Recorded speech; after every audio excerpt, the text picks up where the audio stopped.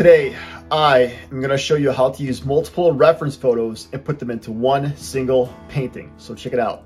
If you're new here, I help other artists help get better at a faster pace, and I save you time. So, reference photos. You've probably used them and spent a good deal of time trying to find the right one to see if you can paint it.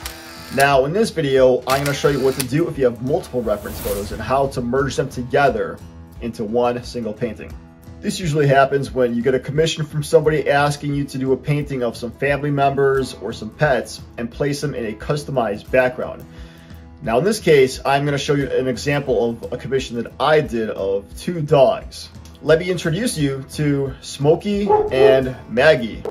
Now, a typical portrait for a pet would consist of a plain colored background or that cliche nature type of background, like a backyard or just somewhere outside. But my client wanted to be a little more creative, so we decided to go with those Renaissance outfits. And plus, I wanted to uh, have an excuse to paint these Renaissance outfits somehow, some way. So this is the part where the question comes, how do I put all these photographs together to create a cohesive painting?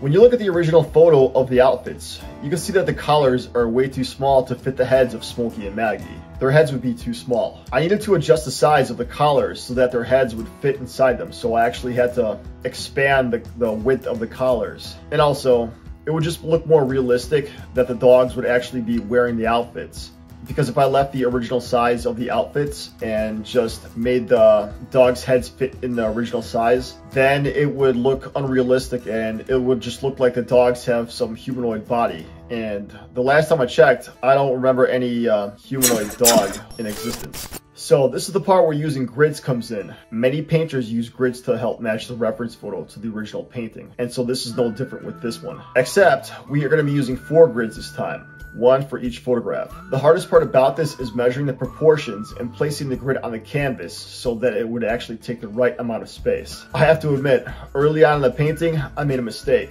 I made the grids too small and so that Smokey and Maggie did not take up enough space. So I went back, remeasured, and expanded the grids. Also, notice how the grids have an overlap.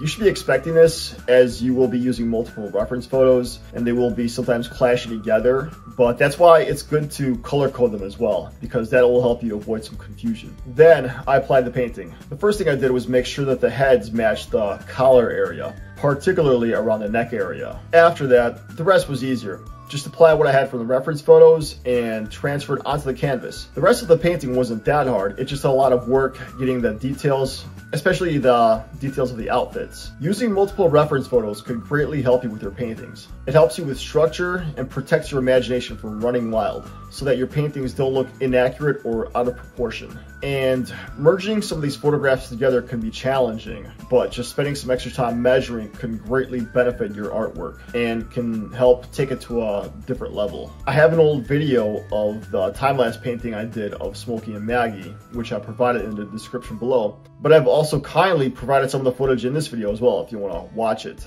If you found anything useful in this video, please hit that like button and consider subscribing to my channel. Thank you for watching and I'll see you next time.